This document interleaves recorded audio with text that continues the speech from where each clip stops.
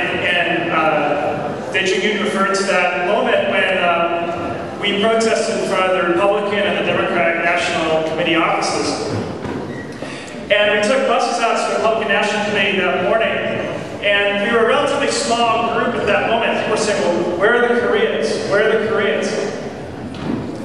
And all of a sudden, these two buses pulled up, and you could see off in the distance this whole lines of people from the Korean community coming towards the offices. And just as the people who were coming in were playing music at the beginning of this evening, they were coming and playing and singing and came with the placards and stood in front of those offices to tell them to reject the unjust legislation that had passed the House, H.R. 4437. Your community that day motivated us, inspired us, and moved us, and led us in that effort on that day.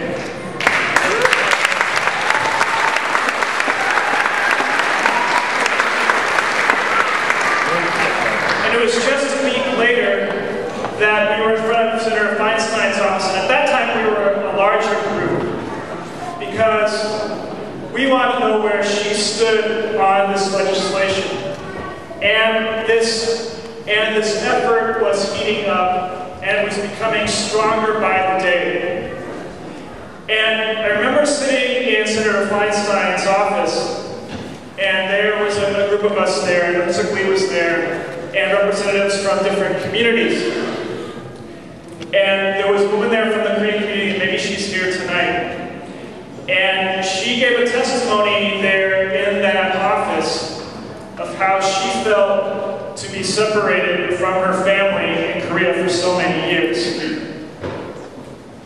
And I remember on a rainy April morning down in Costa Mesa, and a large group there in front of the Costa Mesa City Hall marched in a circle in front of their government offices protest the unjust legislation that they have passed against immigrant brothers and sisters, those who are undocumented. And the Korean community, Nagasaki and KRC were there again, playing the drums and singing and chanting and marching even in the face of people who I suspect are from Minutemen or Save Our State, who were trying to tell us to go away and reject us. But you all inspired us that day too by your presence and through your words and through your song. We've registered voters with you. We've gotten out the vote with you. What we've done over these months, as Dejun describes so well, we've done together. As Courtney says so well. And that poem by Antonio Machado, it's a very powerful poem, and it speaks to the truth that we have lived over these months. We have made a road by walking our marching, our singing, our postcards, our efforts, our bodies on the line, on Wilshire Boulevard, has created a road. We've done it together. And that's part of what this award means this evening, what we've done together. That road we've made together. A part of that poem as well says the following. Son las huellas que hacen el camino y nada más. The footprints that make the road and nothing more. My sister brothers, we have left footprints for these months. And as we look back at those footprints and what we've done, it inspires us to continue walking together, to create the road together to empower each other together. And it's that spirit that we celebrate this evening. And it's that spirit that this award represents for each and every one of us. And so we are blessed to receive this award.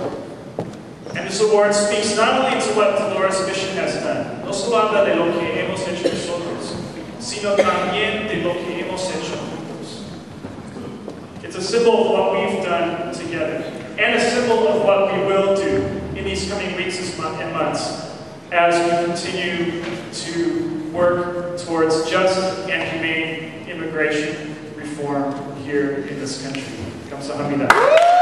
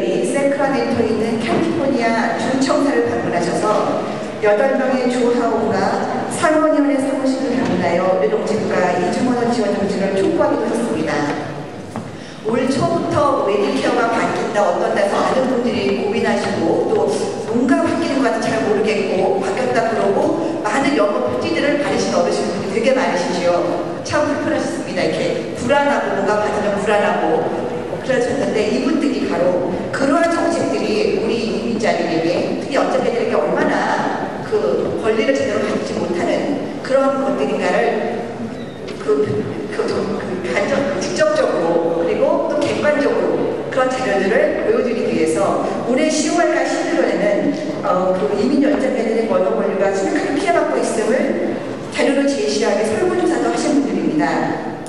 민족학교는 이민자 커뮤니티의 언어적, 문화적으로 적절한 서비스 제공할 수 있도록 추구하고 이민자의 언어 지원 권리를 증진시키기 위해 헌신하고 열정적으로 그 노력하신 가족보건 리더 회원들과 활동하는 큰 영광으로 생각합니다.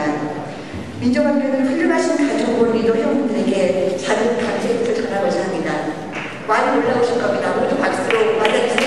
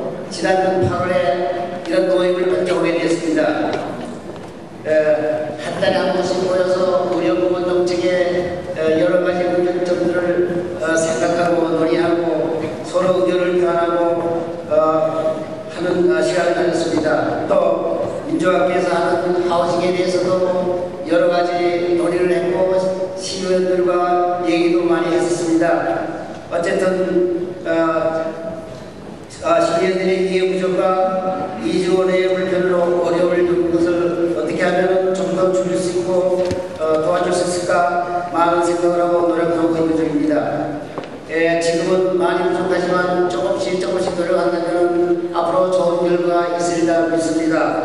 에, 민주학계의 어, 영원한 어, 붕 영원한 발전을 위해서 기원합니다. 감사합니다.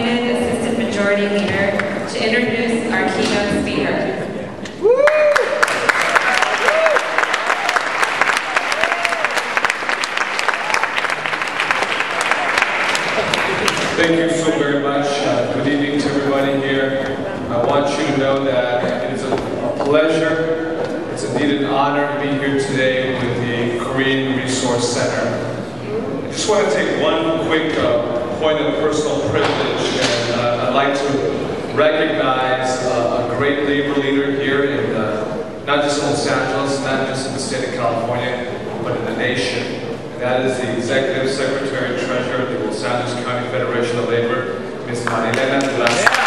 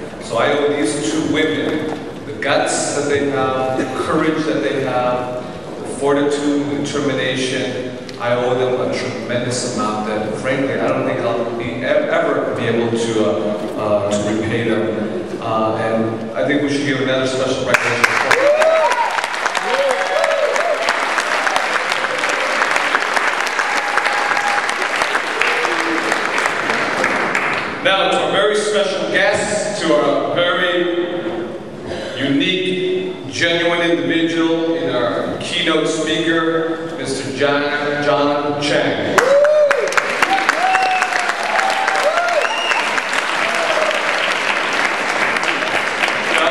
John was born in New York City back in 1962 in the suburbs. Actually, he grew up in the suburbs of the city of Chicago, and he was the first Asian American family in that neighborhood. Now, John is the oldest of four children, the son of immigrants from the Republic of Taiwan. And when John came over to, uh, when his family came over to America, he went to the University of South Florida and he graduated with a degree in finance and also went to Washington, D.C. and graduated from Georgetown University Law School. John learned the importance of commitments, determination, consensus building, and above all, community service lessons he learned from his mentors, especially his mother, by her enthusiasm as an active volunteer in their community.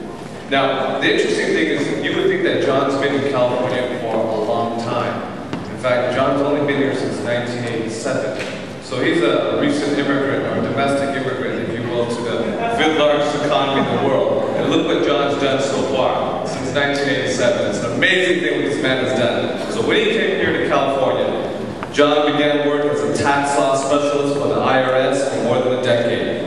John acquired a breadth of experience working as an attorney for then state senator, or I should say state patrolman Gray Davis, as a staff member to Senator Barbara Boxer, Congressman Mel Levine, and Kathleen Brown during her race for governor. John Chiang also ran for the California Board of Equalization in 1998 and served there just recently in 2006. And during his time at the Board of Equalization, he has successfully sponsored more legislative proposals signed into law than any other board member, which is a testament to John's determination and ability to build consensus here in California.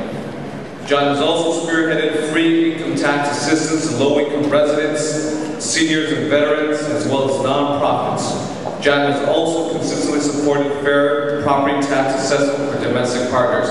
But let me tell you something. I got to know John actually this past few years, and I campaigned with John along with uh, uh, candidate Phil Angelides up and down the state of California, but in particular here in Los Angeles. And John is one of the most humble individuals that you'll ever meet. Now, a lot of folks in this room, I'm sure, have an experience of dealing with an elected official, whether it's a Democrat or it's a Republican.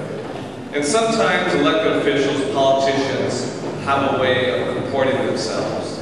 Sometimes they're a little at this level, or they think they're a little too higher than other individuals.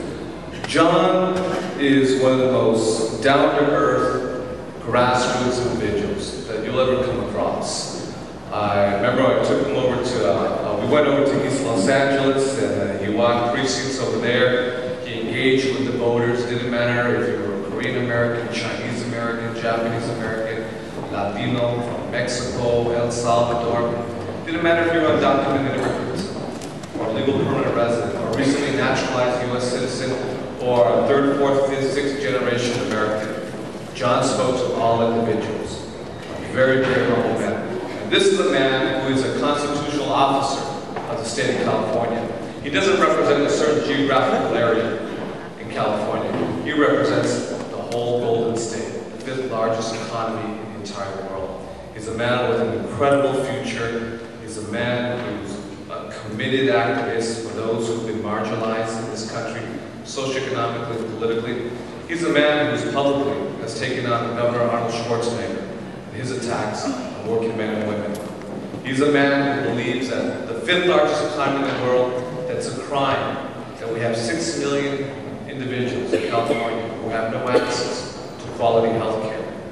He believes that we measure the quality of our lives, and we measure the success of our society, not on how many prisoners we incarcerate, but how many children we educate and graduate. It's a very unique, it's a very special man. I'm deeply honored to have the opportunity to present him today. Ladies and gentlemen, I give you the controller of the state of California, Mr. John Chiang.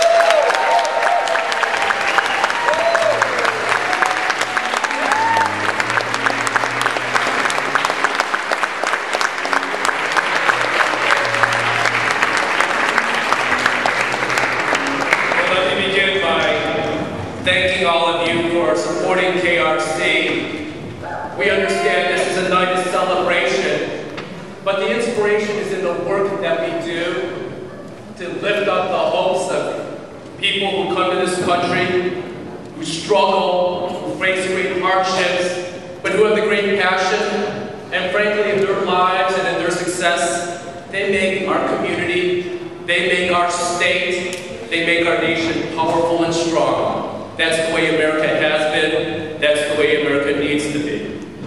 And I wanted to thank Assembly Member De Leon. I, he didn't talk about his past, but Kevin started off in the education and civil rights community. We understand as we lift all our people, that's how we start.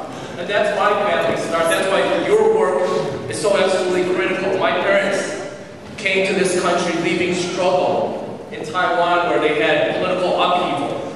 When Chiang Kai-shek moved over from China to Taiwan.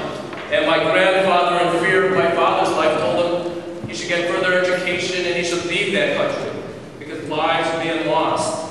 And so like the people in this room and the people that we fight for each and every single moment, my parents are the people that you help. My parents are the people you assisted. And so my parents came to this country with less than $100 in their pocket. My mom was scrubbing floors in South Dakota, trying to learn the English language, trying to pay for her peanut butter and jelly sandwiches. My dad left his first PhD program because he ran out of money, and then worked multiple jobs, learned English as his fifth language, and paid for that PhD. And I'm the oldest son of that product. Right in our family, like many of you are going to encounter. But more importantly, I hope you'll take this because we fight that struggle. And we have extraordinary leaders in the honorees this evening. Community health promoters, Dolores Mission, and I'm omitting Courtney because I'll talk about Courtney later on. And cha- having champions like Maria Elena fighting for the County Federation of Labor, but fighting for each and every single one of us. And so over a period of time, my family was inspired by the work, as Kevin pointed out, Martin Luther King, Cesar Chavez, the Kennedy brothers. I remember as being the oldest son in the only Asian Pacific American family in suburban Chicago, having the rocks fly through our windows, getting into fights in school, having the ugly racial epithets spray painted on our garage, go home gook, go home Jap, go home chink. Now, my parents are from Taiwan, so technically none of those are correct show the ignorance of some of our people. But those are the people that had the power. And the great thing about KRC and your work and the people in this room assembled is that now we have the power. We have the power, we exercise the power and the will. And so I want to talk about my, my story, my family story. It's exactly as the same as one of your honorees. It's a powerful story of a powerful young woman from the Midwest who understands the great struggles of our communities and under the great leadership and guidance of Woody Elena can be given a power to exercise extraordinary change and to have the most powerful labor movement in the United States of America and have its political director, a young Korean American woman, sounds a powerful statement and I hope it grabs deep in your heart about where each and every single one of you can go. Right? Because we're not from situations that are dissimilar from each other. And if we have the inspiration, if we have the willingness to take a risk, if we have willingness to take and fight for justice and dignity for everyone in our community, regardless of their socioeconomic status, regardless of their health consequences, regardless of whether they're presented the same opportunities, and regardless of whether they have power or not, we can make an extraordinary difference like Courtney Pugh to coordinate.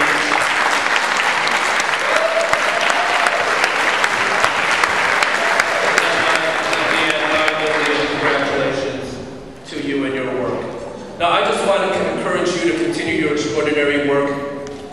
Every indignity, every ignominy that can face anybody, you stand tall and fight it. Whether it's somebody who's homeless and needs shelter, whether it needs somebody somebody who needs, and I know it's not sexy, but it's what I love to do, somebody who needs free tax right? Because as the state's tax man, I understand those who are most financially challenged are those who are left behind, right? This governor, this governor wanted to reduce those who got homeowners and renters assistance from, and that's $370. He wanted, you had to qualify by making less than $36,000. He wanted to drop it to below $13,000. That's full-time living wage in California. He wanted to displace those who are in greatest needs. But so there needs to be a voice deep in our neighborhood so that people have hope. There needs to be a voice in Sacramento, and that is your voice, the powerful voice that speaks for each and every single one of us. So I want to just congratulate you and encourage you, each of us, uh, and Kevin, you, I'm going to end with this. I haven't mentioned this in a long time, but uh, because it was, uh, I'll tell you at the, end, at the end of this. My brothers, I have a brother and sister who followed my path. They got into public service. Uh, they worked for one of America's great congressmen, Howard Berman. Uh, my sister was Howard Berman's immigration person, right? She wanted to make sure that the technical language that discriminated against Latinos and Asians were corrected so that we were given the same opportunities as any other American who wanted to come to this great place that we lived. My sister, uh, I was very proud of, working for Howard Berman and graduating from the same law school I did, went to work in the Clinton administration. And in the first year and a half, she was named one of the top employees at the IRS. A year later, or a week later, after I assumed office, and for me it's very proud to think of the poverty that my parents fought, the struggles they went through, to have their son elected as one of California's constitutional offices, one of the 12 highest offices in America. And so you went from people who struggled, people didn't have health care, people who were learning this language, to have a son who can make a contribution and can use his life to make that contribution. Six days later, my sister disappeared. Three months later, her body was found off the bank of the Potomac.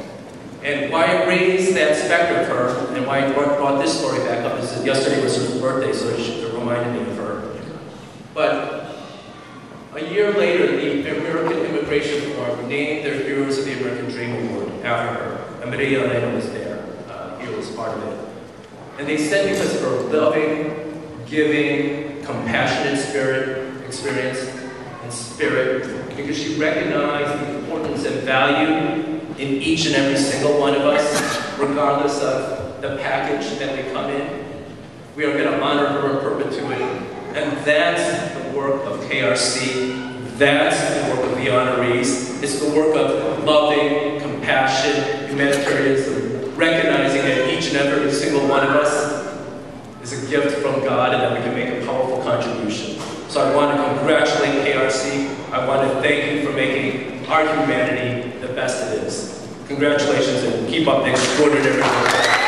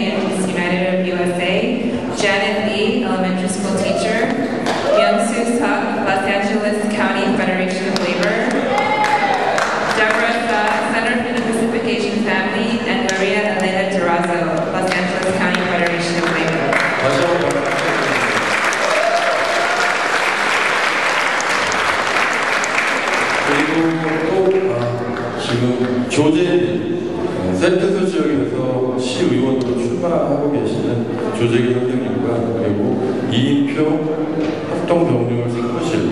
여러분께도 감사의 And we also just want to especially recognize Joseph Cho, Joseph Cho, a leader in our community running for city council in the city of Cerritos in 2007, and Lee and Bar David, attorneys at law, and attorney Stephen Gorley. Thank you.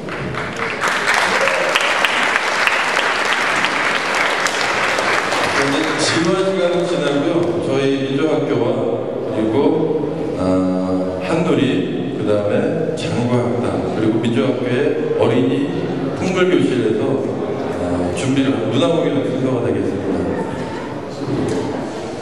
Next, we're going to introduce Orange, a youth group of the Korean Resource Center. Founded in 2005, Orange stands for Organize, Rise Up, Act, and Get Empowered. Please welcome members of Orange, who have been dedicated volunteers at the Korean Resource Center for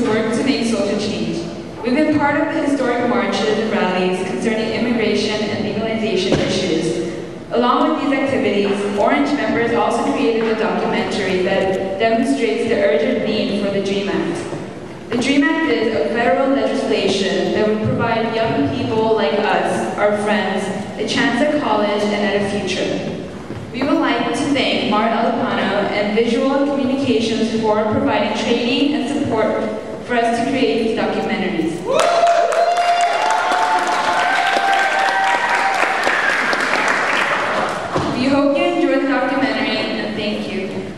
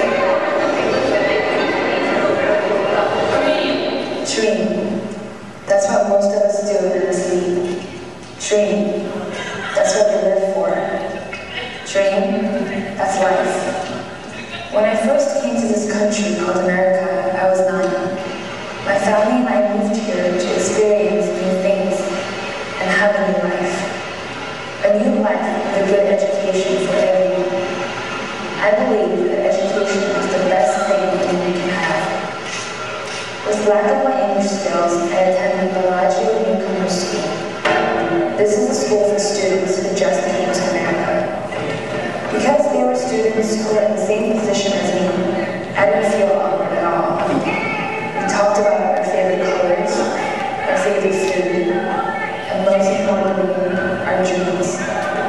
We all came here with big dreams of achieving success, but unfortunately, not everyone is blessed with that opportunity. Some, some of my classmates were undocumented. Because of that, they felt discouraged and without much hope for the future. They began not doing well in school and dropping out. It affects me to see the students take that road they feel like they don't have no more choices. It affects me because I am their friend and I'm never going to. But we all need to know that it's not over yet. We have hope and the Dream Act. We have opportunities.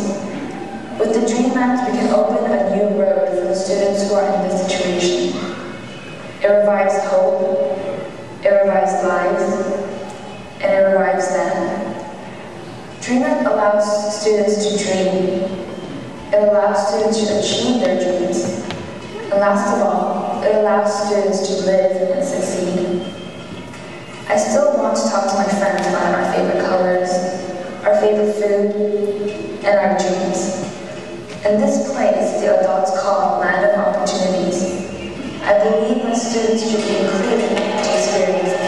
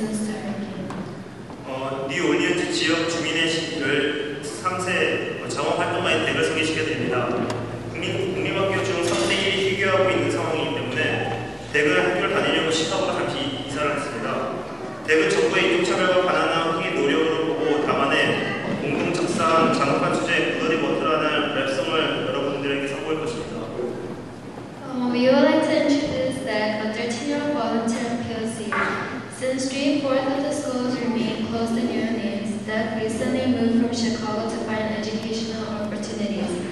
Doug will rap a song he co-wrote called Bloody Waters, which is about his experience in new Orleans, with the government's racist attitude and the poor black people's struggle. 큰 박수로 감사합니다. Yeah.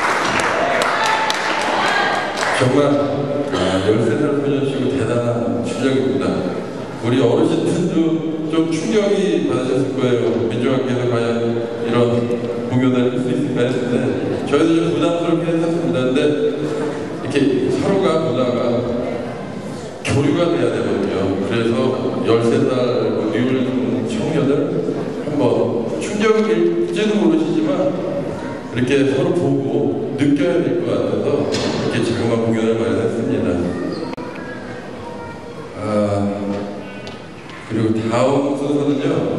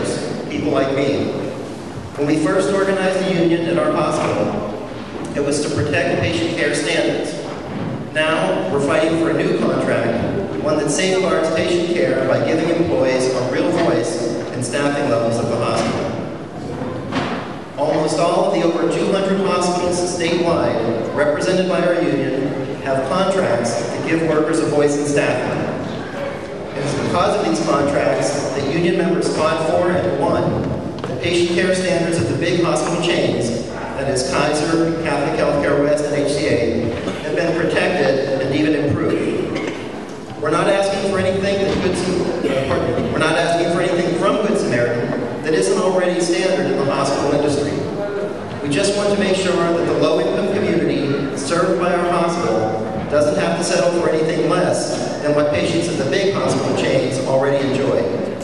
We're fighting to keep our patients safe. Our union has been able to build strong relationships of mutual respect and trust with nearly all of Good Sam's competitors, including Catholic Healthcare West, Kaiser Permanente, and Daughters of Charity. Unfortunately, Good Samaritan has chosen to fight its employees and try to undermine our ability to have a union and have a voice on the job. We hope that the management of Good Samaritan Hospital will learn to partner with us, the frontline caregivers. Together, we can make our hospital the best it can be. In the coming weeks, we expect our struggle to win a fair contract that protects workers, or pardon me, protects patients to escalate. Good Sam is already showing every sign that they are going to approach our upcoming negotiations with aggressive anti-union tactics. I hope we can count on the Korean Resource Center and everyone in this room to support the caregivers in our efforts. We are fighting for patient, better patient care and will need your help to win. Please join with us in our fight to protect our patients at Good Samaritan Hospital. Thank you very much.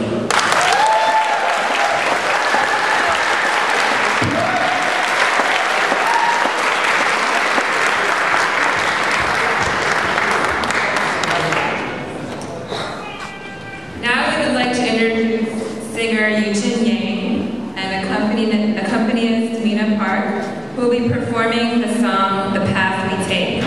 The lyrics can be found in your program books. In keeping with tonight's theme, Make the Road by Walking, the lyrics of this song express the belief that we must create new roads to places no one has gone before, welcoming the challenges that come with it, and finding joy in making this new path in accordance with others. During the performance, we'll be playing a slideshow with some of the highlights of the work of the Korean Resource Center.